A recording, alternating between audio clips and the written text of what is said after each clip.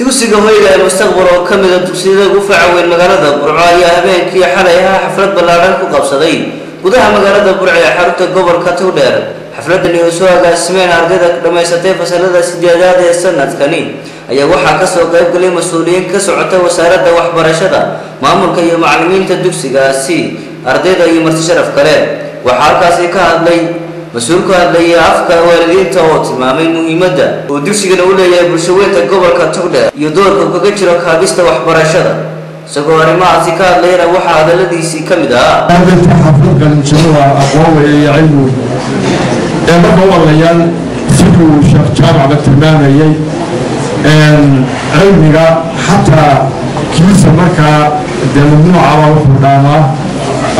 dadka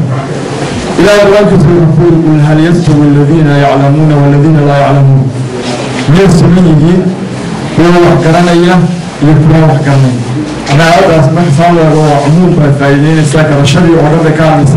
waxaa kaloo halkaasi ka hadlay xubno ku hadlaya afka ardayda dugsigaas oo tilmaamay doorku ka soo qaatay kaabista waxbarashadooda maamulaha dugsiga mustaqbal oo halkaasi ka hadlay ayaa isna sheegay muhiimadda iyo doorka ka soo qaatay dugsigani kaabista waxbarashada gobolka togdheer isagoona ku dhiirigeliyay bulshaweynta gobolka togdheer inay ardaydooda keenaan dugsigani. Isagoo arrimahaasi ka hadlayana waxaa hadaladiisii ka mid ahaa.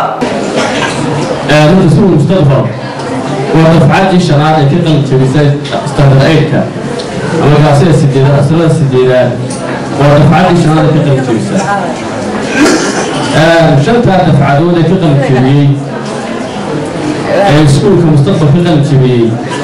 hal dafcada ayay waxa ka dhacay laba arday saddex arday labadaas waxaa kaloo iyaguna halkaasi ka hadlay mas'uuliyiinta garnol afriqiya majaajilaystaha weyn ee jawaan iyo marti sharaf kale markii uu adduunyadan ilaahay abuuree udubkeeda taagay aadan ciidda ka alkumay dadkuuma sinayno qof kastaba intiisiyo aragtiyo u qaara ayuu eebba siiyo aadmigu sidiisaba aqoon kama sinaan karo sidaa aynu aragnee madaxiyo wejiga sare aan la ysugu ekaysiin ayaa uurka hoose iyo aqoonta iyo garashadu ay u kala bedelan tahay.